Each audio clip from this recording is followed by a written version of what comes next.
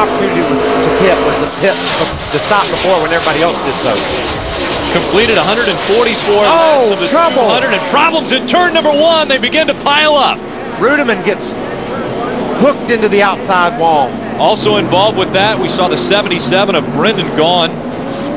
Second place in points right there. Has completed every single lap so far this year, but may not happen tonight. Ain't gonna happen tonight. Look, there's not anything left to the back of it.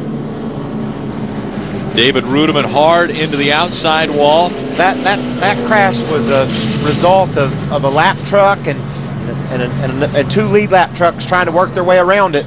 And eventually the lap truck got turned around and hung into Reutimann. Brendan Gaughan did a great job getting through that without losing control of his number 77 Dodge. Take a look at it, Michael. He's Ru- Kerry Earnhardt. Hooked the 77 of Brendan Gaughan, and that turned Brennan up into the 17 of David Reutimann.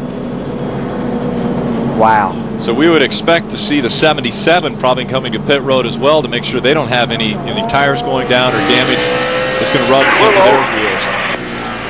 Terry Cook's on board right there. You see all the smoke. Caution's out, caution's out. Man, it sure does feel good to clear those wrecks. You know, you come out on the other side. Say, whoa. We'll clear up the entire accident. We come back to O'Reilly Raceway Park. David Reutimann behind the wall at the short track.